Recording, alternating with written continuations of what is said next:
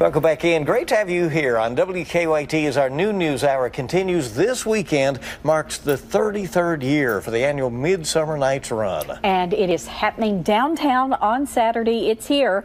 Dr. Lucy Wachs and Makenzie Deering are here to tell us more about it. And this fellow over here, Mr. Shakespeare himself. Yeah, Bill Shakespeare with us there.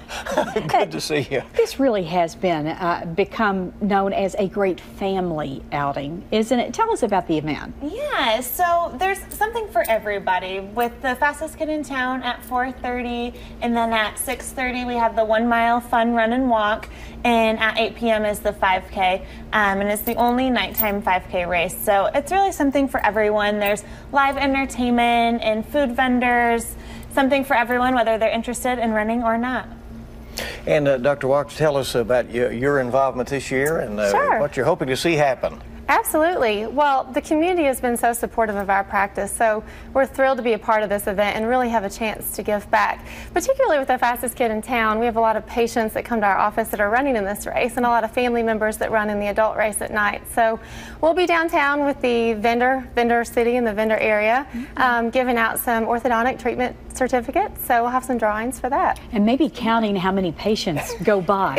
You know, 'cause I'm sure that with that family orientation, you're going to see a lot of people down there. Absolutely, yeah. Yeah, that's fun. You know, the, the fastest kid in town race and all of that. Uh, for those who uh, want to get involved, what should they be doing right now if they have not registered? Yeah, so they still can register online at a midsummer5k.com or they can we will be at John's Run Walk Shop tonight. They can register in person from 4 to 7 at John's and tomorrow night as well. All day tomorrow we are at John's from 10 to 7 and they um, can register on site on Saturday, but there is a $5 increase on site. You know, there are a lot of races out there now. This is a, a town that embraces this very much. But what do you think it is about this race that makes it special?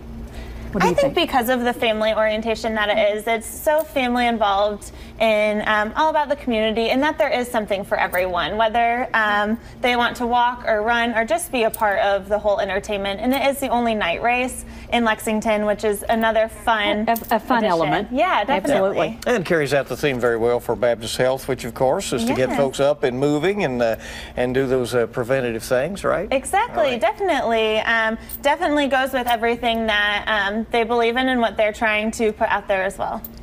Wonderful. Well, good luck with the race. Thank hope, you. hope Thank the you. weather is perfect for it. Yes, Fingers crossed here. Right, exactly. Absolutely. But I know it'll be a great time.